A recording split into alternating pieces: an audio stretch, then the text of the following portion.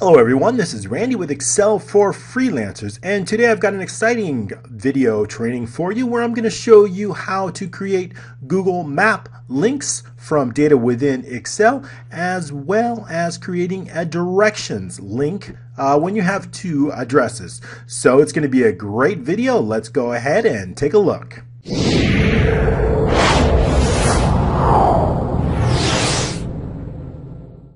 Alright, thank you for joining me. Let's get started. In this video, I want to explain to you how to create Google Map links. And not only links to map, but directions when we have uh, more than one address. And some of the reasons we might want to do this is if we have a file and we have, let's say we have customer addresses and we want to guide the customer to our company address, we can do that uh, with using their address and the company address that we have.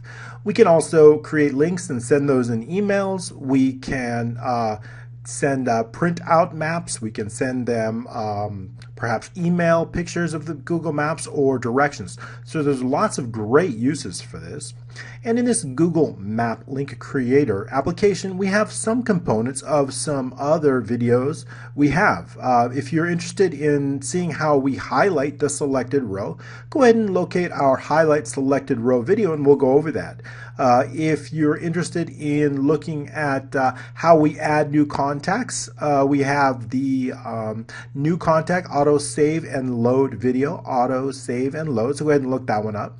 And if you're interested in how we create these automated field uh, labels, go ahead and click on the auto field labels video and uh, you'll go ahead and see how we do that there where I explain these features in detail in each one of these videos. All right, let's get started.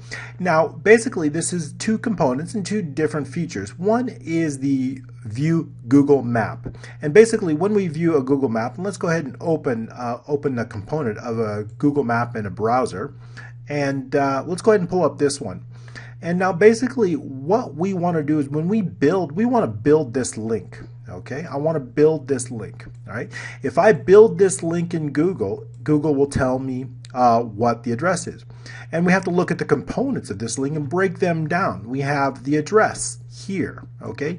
And we'll also notice that any spaces are replaced with a plus. So that's very important because when we enter in Excel, we just enter enter spaces, right? We enter normal spaces when we enter an address uh, like here. So we want to make sure that when we build the link, any spaces are replaced with, with an address. So that's very important. And also, we want to make sure that we add in the country as well. And we want to make sure that when we insert that link, we want to preface that link. The first part of the link should contain this.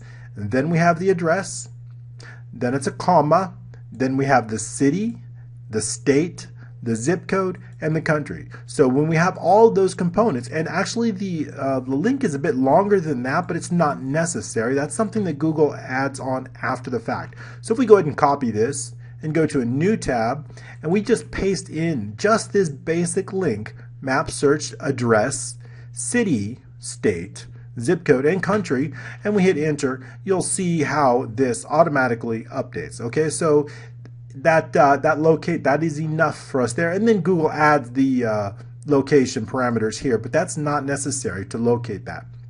All right? So we'll go ahead and um, we'll go ahead and create this link inside Excel okay?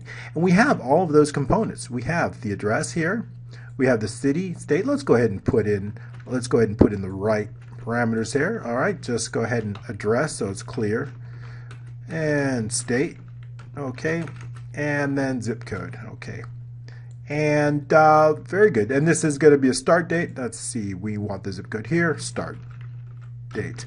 Okay. So we've got that we've got our labels covered and uh, so we've got all of the components we need and we're going to use this country here we're going to assume we're going to assume that the country that we're going to is the same as the country that we're going to address. So when we do the get directions, we're going to use this field for both because generally, unless you're in Europe, uh, you may want to add you may want to add a country. If you're in Europe and you're going from one country to the other, it's very easy.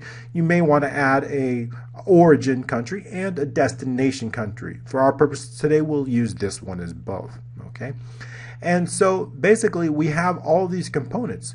Now let's go ahead and go into the VBA editor and see how we combine those in, in a simple macro. All right, if you've got the developer tab, click here and then click Visual Basic.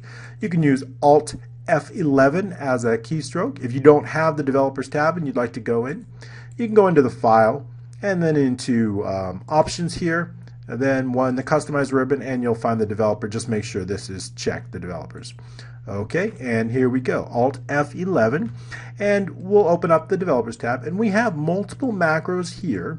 Those are created uh, from previously. We're going to focus today on just one of the macros okay? And that macro is going to be the map macros okay? This is the only new one that we're focusing on today okay?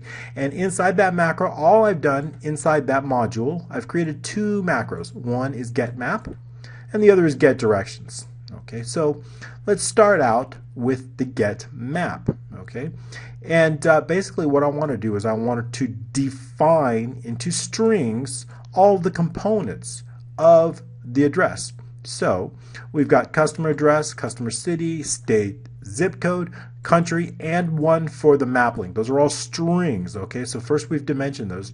And then what we're going to do is since we're only focused on sheet 1, we're going to use with sheet 1, okay? And we can tab that out so that we show that all of these are in uh, in the within within the end with starts with sheet one. So that means that when we define it, we don't need to add sheet one here. Okay, it's assumed because we are with sheet 1, so we don't need that. It is assumed. If you do reference another sheet inside here, if you do want it, you will need to make sure that you reference that sheet by entering sheet 2, range, whatever you want to. So it's important uh, to reference another sheet if you're going to be within that.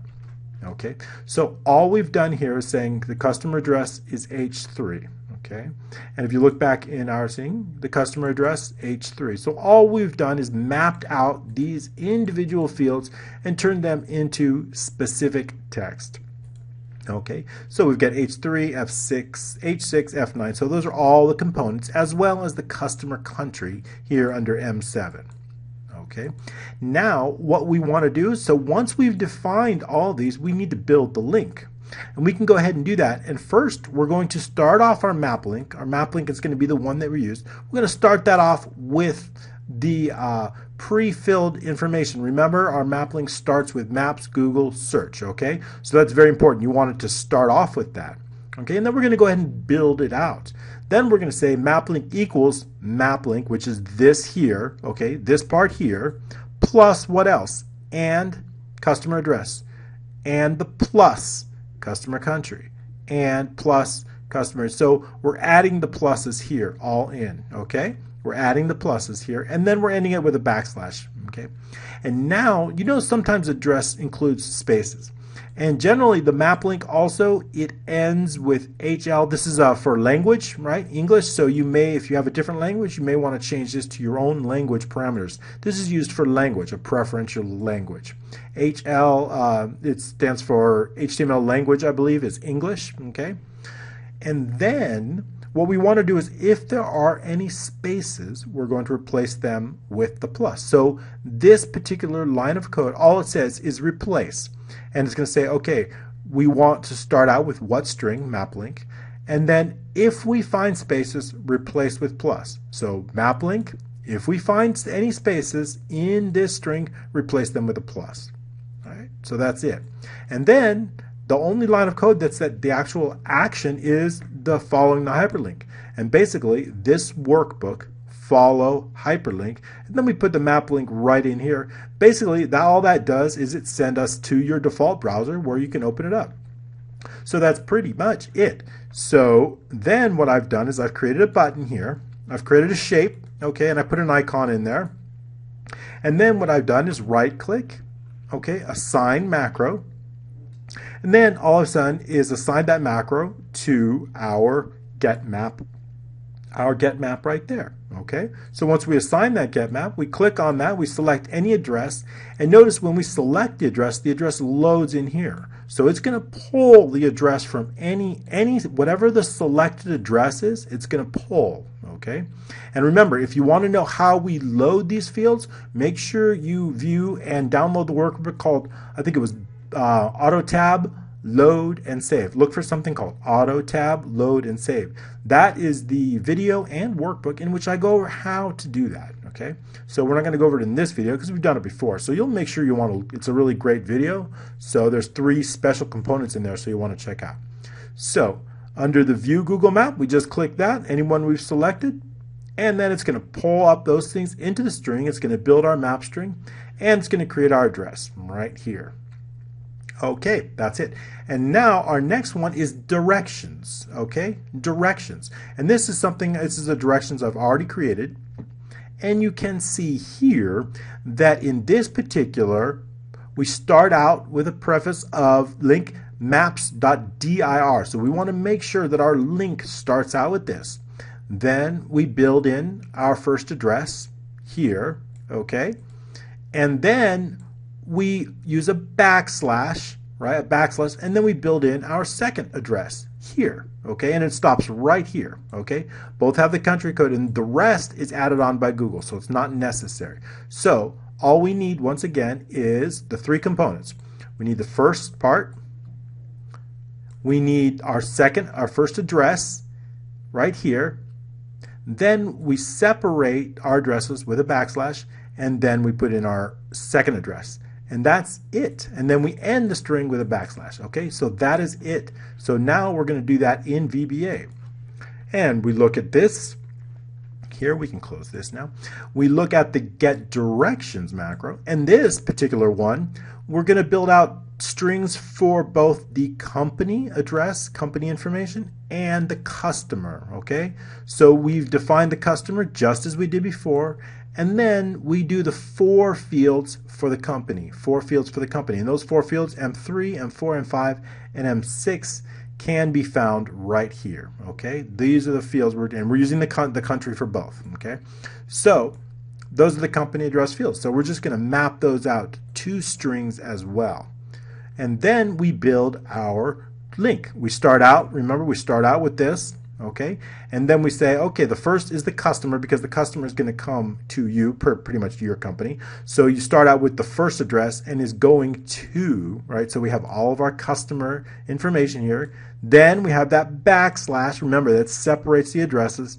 Then we have the company. Then we have the company address, company city, company state, company zip code. And that is it. This we don't need here. That's just some informational on how it's okay. So and it's not necessary to put English on this one. I found it's not necessary. I'll maybe I'll leave that in if you find it necessary, but I'm going to comment that out. I didn't find it necessary for the directions. Um, but if you want to change it, it's here. You can end the link with this if, if necessary. So then, once again, we're going to use that same. We're going to replace any spaces in our address with a plus. Okay, and then we're going to follow that. So that's how that works also. And remember, this is the get directions. So We've assigned this macro to this button here, the get directions button, and uh, all we have to do is right click in here, assign the macro, look for get directions here, and click OK. And then that'll get directions. So when we click that, it'll open up in our browser and it'll automatically have those directions uh, based on the two addresses and then just as Google Maps. So this is a great way uh, to get directions when you have two addresses or view a map when you have a single address in Excel. A quick video today. I just wanted to get that out to you. Merry Christmas to everybody. And uh, I hope you enjoyed this video. If you did, please, please share it with a friend or on your wall or in your favorite group. I would appreciate that. And thank you so much for joining us today. Have a great one.